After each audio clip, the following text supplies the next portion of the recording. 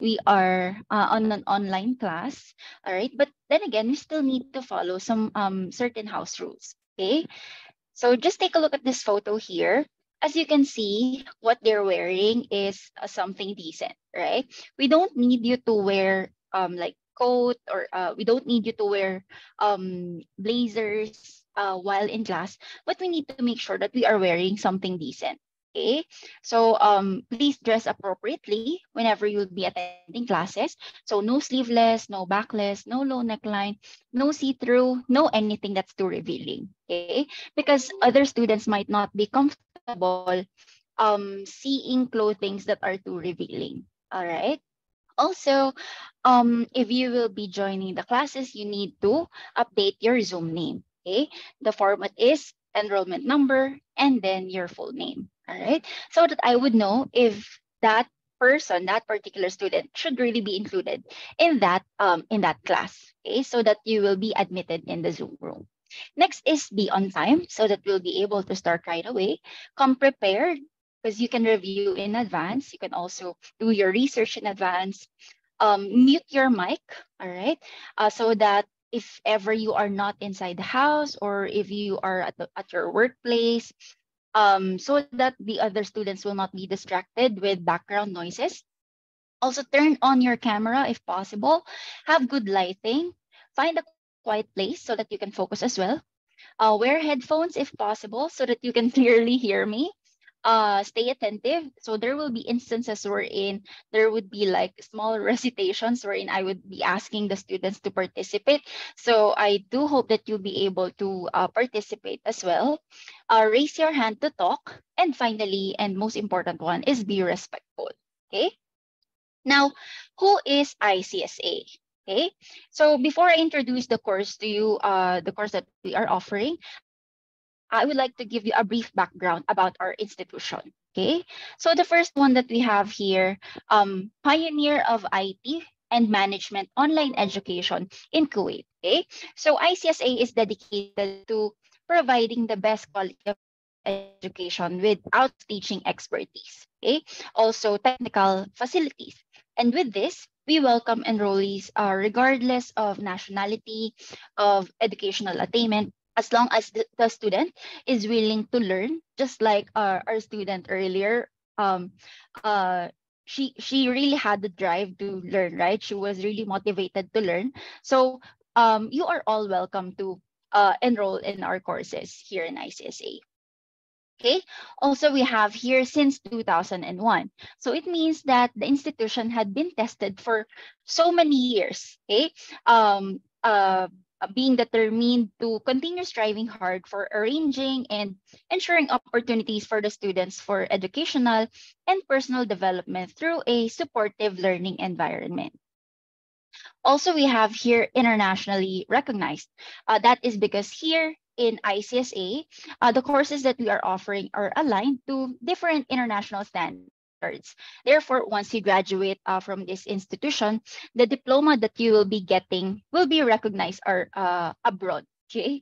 Especially especially that uh, uh, most of us, our goal is to work abroad, right? So no worries, the diploma that you'll be getting um, is recognized abroad, okay? Especially uh, in uh, the diploma in health and social care course. Um, uh, it has a seal of a UK-based qualification recognized by Ofqual. Ofqual is the counterpart of CHED in the Philippines. So uh, the diploma is authenticated by the FA and assessed by WES or World Education System. And it is one uh, being used for immigration processing to countries like Canada, Australia, and the UK, right? And also we mentioned here that it's trusted, oops, uh, trusted by international employers. Um, uh, um, so here uh, we receive a lot of feedbacks from our previous students that they successfully landed a job um, uh, abroad. And if you'll be visiting our Facebook page, we have uh, or we receive a lot of feedback from our students um, leaving positive and good reviews about their experience here in ICSA, and they are now working abroad. Okay, next for uh, ICSA's vision, uh, it is to be internationally recognized as a premier information technology and administration learning institution, engaged in the discovery of knowledge, integration, and their applications with a global perspective that educates through innovative, responsive, and career-oriented programs. And for our mission, ICSA is committed to the provision of quality education, which emphasizes high academic expectation in the field of information technology and administration to provide the students the knowledge and skills needed to succeed as individuals and as professionals, promote academic excellence, and provide opportunity to enhance student skills that will empower them to reach their potential, provide career-oriented programs with a primar primary focus on those programs that are innovative and responsive to the needs of students and employers, ensure the highest quality of learning, teaching, and professional practice in a technical, technologically enabled environment, and contribute to the advancement of IT and participate productively and responsive, responsively in a rapidly changing society. Now, why why would you choose ICSA? Um, why not other um, other institutions, right? That is because here in ICSA, we are offering competitive fees, okay?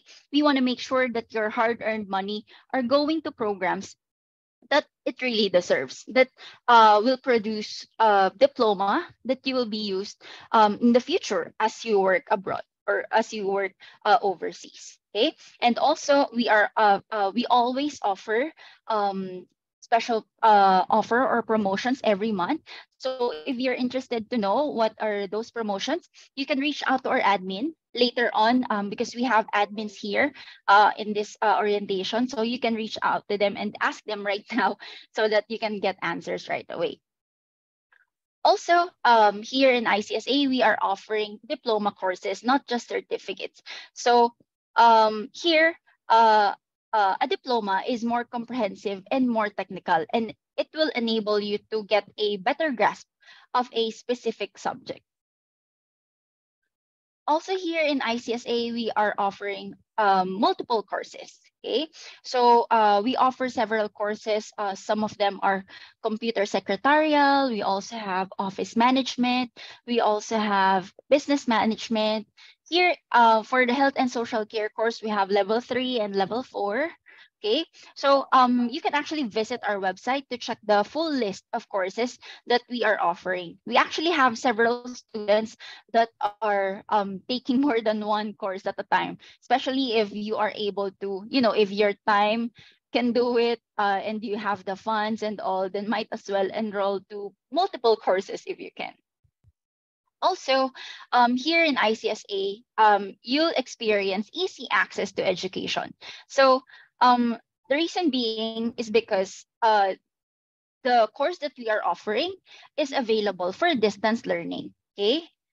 So when we say distance learning, uh, according to Merriam-Webster, they defined it as a method of study where teachers and students do not meet in a classroom, but use the internet, email, mail, etc. to have classes. Okay. So again, the courses that we offer are online live interactive classes via Zoom okay, like this one. And also the lessons that we are providing, we have pre-recorded classes that you can watch anytime, okay? Meaning if you are on the way to work, or if you are currently at work and you wanted to uh, watch uh, uh, videos related to the course, then you can just uh, put in your earphones and listen to the recorded videos. Okay. Of course, it would be better if you will be attending the Zoom classes so that if you have clarifications, you will be able to ask me right away. Okay. And also, I just wanted to emphasize that uh, there will be no difference between face-to-face classes and live interactive classes because, again, we are using the latest technology and we also have this what we call student portal wherein all the um, uh, materials are uploaded there. Okay. Now, as you can see mm-hmm. here, we have um, students graduated from ICSA. It is more than 22,000, okay? It only means that a lot of students had really trusted ICSA and a, lot, a large number of these 22,000 have successfully landed a job abroad. Now, um, again, as I've mentioned earlier, the classes that um, this health and social care course that we are offering is a live um, uh, interactive, uh, online interactive class. But if you have inquiries and uh, wanted to inquire personally in the office, uh, this is where ICSA is located. We have a branch in Kuwait City, which is in Malia. Kuwait City, office number 25, 8th floor, Panasonic Tower. We also have in Mahbula, block 2, street number 20, building number 163. It's the yellow building, first floor. In UAE, it's room 208B, Rolex Twin Tower, Banias Road, Deira, Dubai. And uh, we have several partners in the UK. Okay.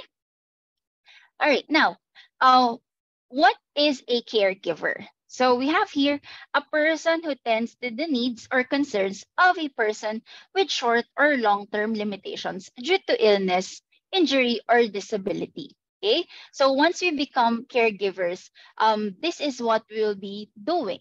Okay, so according to Rosalynn Carter, there are only four kinds of people in the world. So those who have been caregivers, uh, those who are currently caregivers, those who will be caregivers, and those who need caregivers. So those who have been caregivers, these are the previous care caregivers who are now working as instructors to new caregivers, or those who had experience with caregiving and is able to apply on their personal lives. Next is those who are currently caregivers. So these are the ones who are currently employed as caregivers, and um, they could be working in hospitals or care homes, and then those who will be caregivers, so these are the ones who are studying to become a caregiver. So if you'll be enrolling with us, you will fall into this category. And finally, those who will need caregivers. So these are the ones who will need our assistance. So this could be old people or sick people who cannot who cannot attend to their needs. Okay. Now take a look at this um, uh, graph.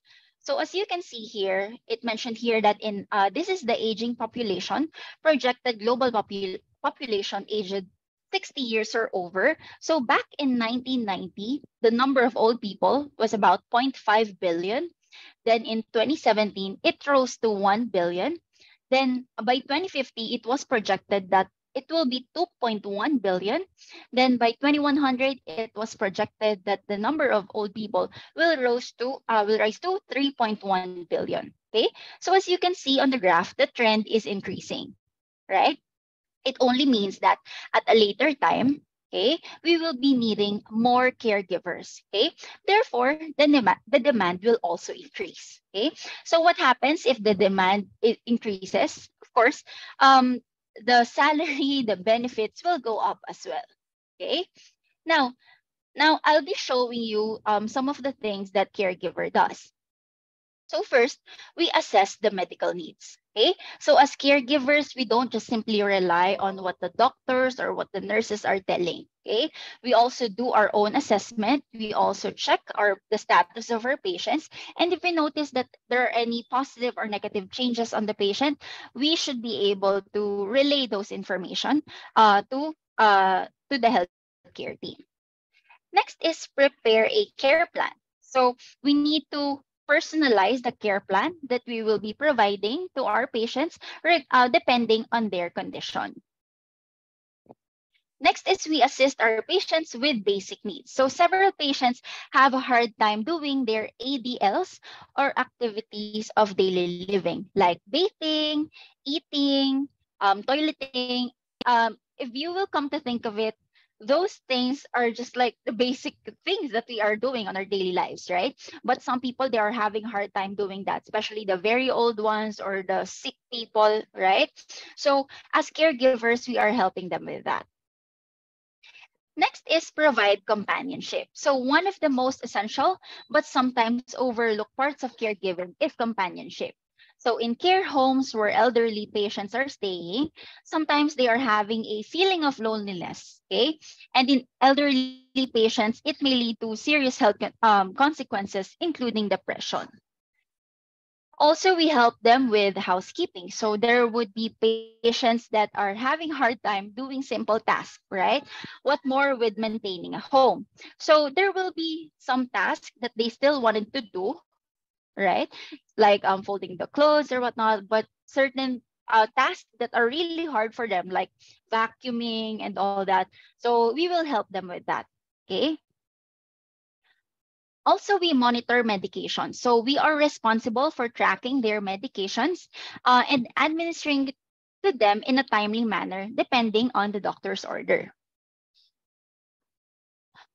Also, assess your care plan regularly. So there is a saying that the only constant in life is change, right? So same goes with our patients. Their needs are constantly changing. Therefore, the care plan that we will uh, that we provide to them should be adjusted as well. We also have here prepare meals. So um, some of them are not able to uh, uh, prepare their own meals. So we will help be helping them with that. Assist with transfer and mobility. So we will help them with like standing up, transferring to a chair or transferring to uh, their wheelchair. Okay. And also we assist them with uh, uh, or we provide transportation. Okay. So those are the common roles of a caregiver. Now let's take a look at the perks of a career in caregiving. So the first one that we have here is flexible working hours.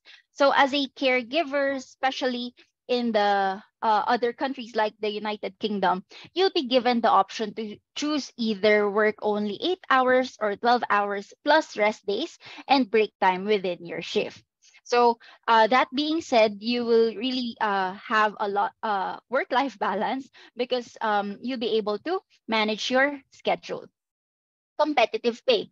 So uh, later on in this discussion, I will show you the average pay that you may expect as a caregiver.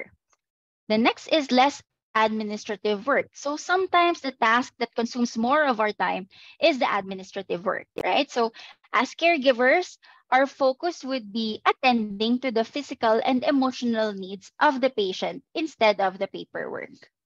We also have here diversified experiences. So you will have the opportunity to work across a wide variety of care settings that go beyond just homes, such as daycare uh, centers, nursing homes, and hospitals. Also, growth opportunities. So our task as caregivers does not stop um, as being a caregiver only, like caregiver one. Okay, so with our role, we get to learn from our experiences. Uh, we can undergo additional trainings. Okay, and uh, additional studies that uh, that may put us in a higher position uh, at a later time. Impactful job. Okay, so as caregivers, we touch our patients' lives. Uh, we leave an impact. Okay, we build a close relationship that makes our jobs easier and more tolerable. Okay. Uh, high and also we have here high demand. So uh, if you can remember the graph that I showed you earlier, so the aging population is increasing. Therefore, the demand is increasing as well. The higher the demand, the more um, benefits and salary we can expect. Okay and also more one-on-one with patients. So you can dedicate your time and services to a smaller number of participants that are within your comfort range, okay? Allowing you to deliver a much higher standard of service and build stronger bonds with your patients, okay? Now, I mentioned earlier that I'll be uh, showing you the expected salary of a caregiver in the United Kingdom. So if you can uh, open a different browser in your laptops or open a browser in your phone, you might as well wanted to go to this website, which is xe.com. xe.com.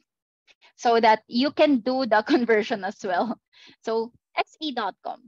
So from there, you'll be given the option to select the uh, currency where you're at at the moment, as well as the currency in the United Kingdom. Okay. So it mentioned here that the average yearly sal salary of a healthcare worker is 23,015 pounds. Okay. So let's convert. All right. Is that Oo, magaling siya. Feeling ko teacher din to ng IELTS. So, sorry, Mark. Okay, 23,015. Okay, 23,015. So if you are in uh you are in Kuwait at the moment, um choose Kuwaiti dinar, but I suggest you select the currency where you are at right now so that you'll be you know, you'll be more familiar with the conversion and all. Okay, so let's choose Kuwaiti dinar since a lot of you are uh, in Kuwait at the moment. And then, uh, sorry, for the first one, you need to select GBP, sorry, GBP or British pound rather, GBP, and then to KWD or Kuwaiti dinar. Okay, and then hit on the convert button. Okay, let's wait for it.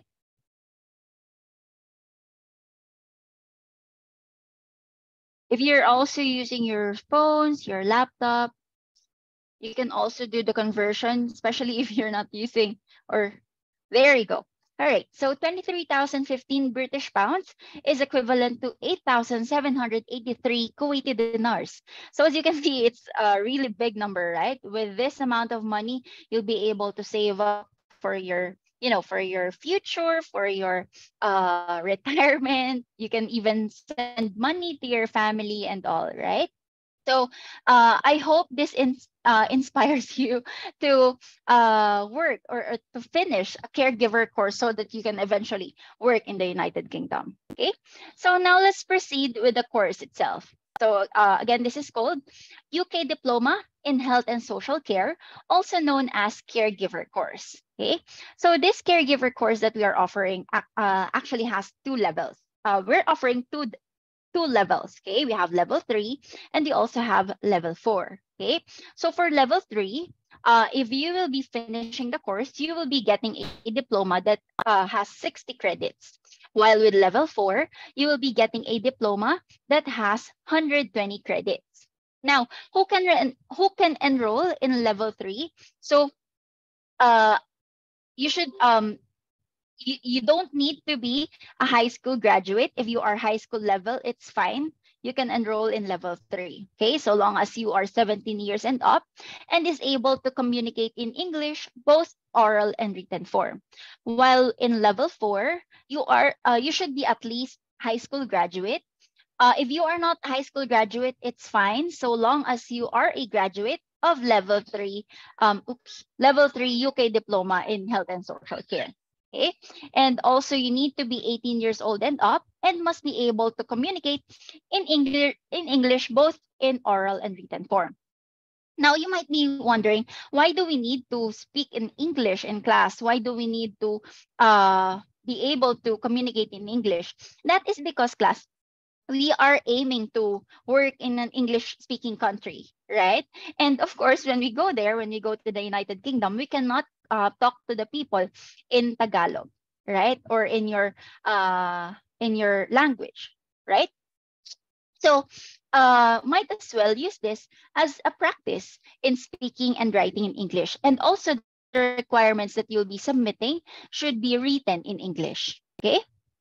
Now, uh, for the qualification structures, uh, structure, um, students are required to complete six units for level three uh, to achieve 60 credits for, again, for level three diploma in health and social care. Okay, and these are the uh, units. So for level three, there are four mandatory units and there are three optional units. For mandatory units, uh, you, we have introduction to health and social care. We also have communication for health and social care, promoting health in the population, and person-centered care.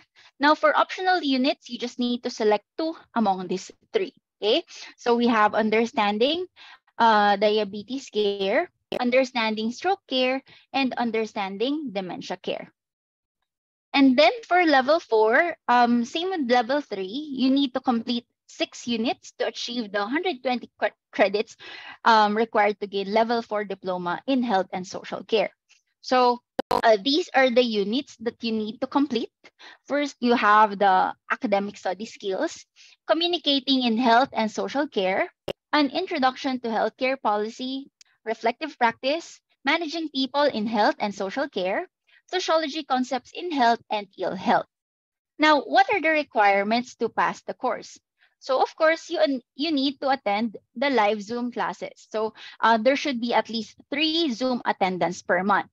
Now, why do we need to uh, why do we need you to attend the classes? Because again, this is um, this course is a pure online course.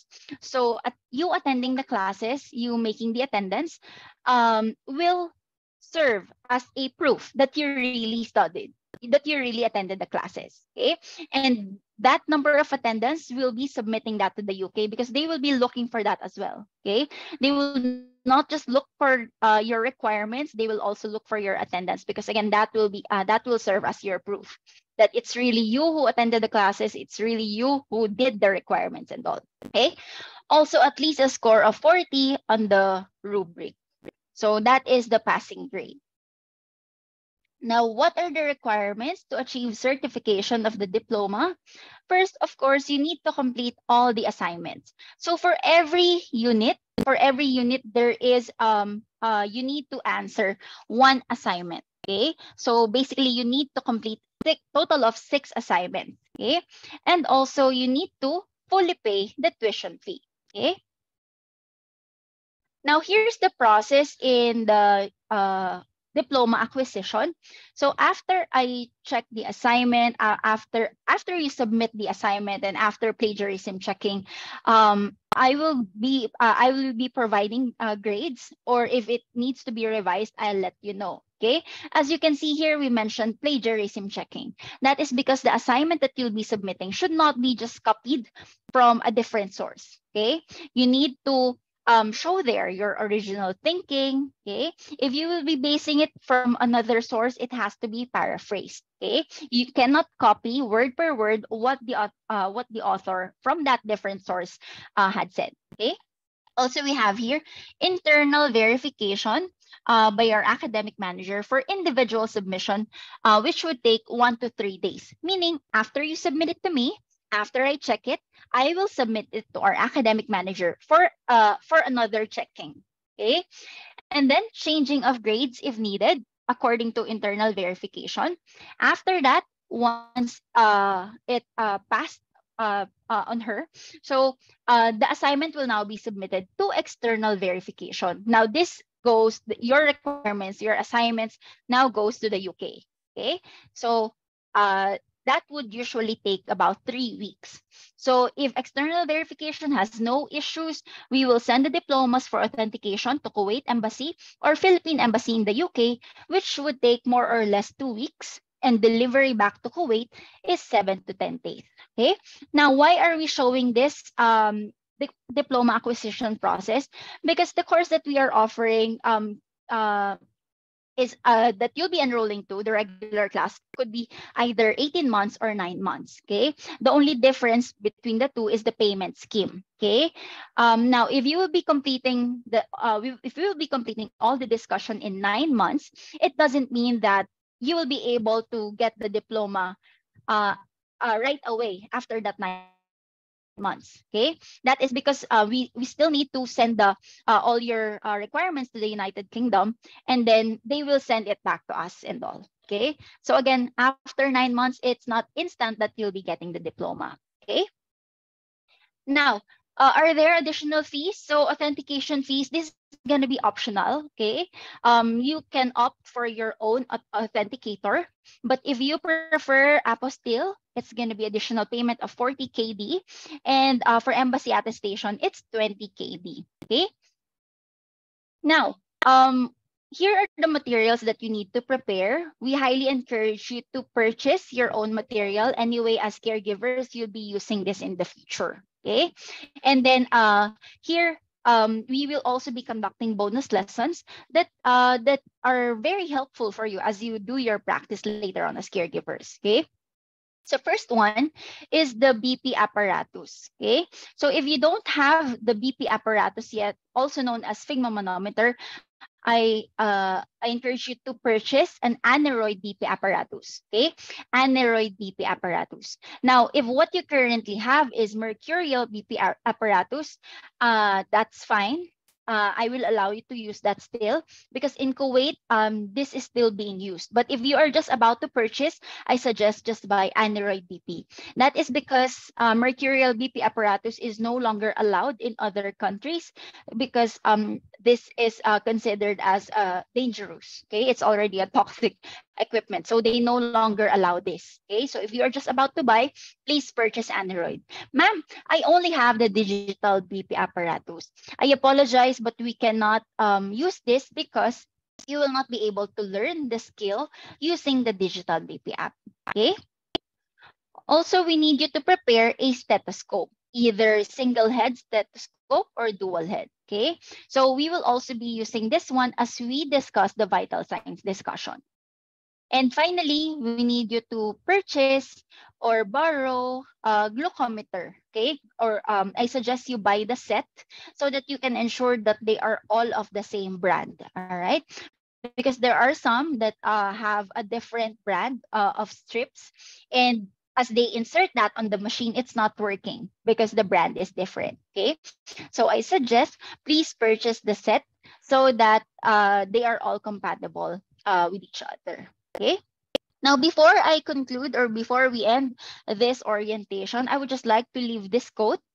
So do something today that your future self will thank you for. Okay. So imagine yourself, uh, yourselves three to five years from now. Are you going to be thankful to yourselves that um, you take this course and have a better future?